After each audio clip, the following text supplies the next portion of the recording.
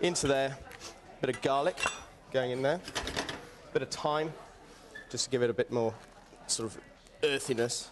And kind of put thyme in a lot of a lot of cooking. It's kind of a nice a nice base flavour. A couple of bay leaves into there. And this, as I said, is a nice alternative if you're fed up with um, smoked salmon or smoked fish or prawn cocktail or something like that. It's quite a, it's quite a gutsy one, let's say. Uh, and you don't want too much because it is quite filling. But with the black pudding and the scallops, it's quite, you know, it's a little bit decadent, I suppose. Okay, so that's in there. With the cauliflower, um, I've grated it.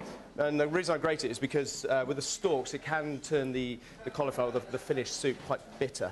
So um, you just basically rub the, uh, the florets over the top of a grater or a microplane, and you use quite a lot of that. This looks like an awful lot.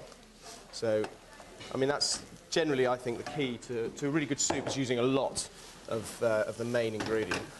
And then just, uh, just sweat that down gently. Right, okay, so into there, a little bit of stock if you want, or a bit of milk, keep it nice and white. And you don't, um, don't get any colour on it, okay, so you don't want any, um, any tinge to it. Okay, so sweat that off, bit of, uh, bit of salt in there, a little bit of, I'm using black pepper, white pepper would be quite nice. Okay, so I'll leave that to tick over, just till it's soft, and then obviously puree it and pass it. Right, on to the next thing, black pudding.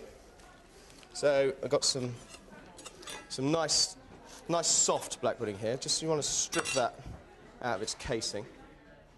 And I'm just going to mix that with a few chopped shallots and a little bit of, uh, a little bit of dill.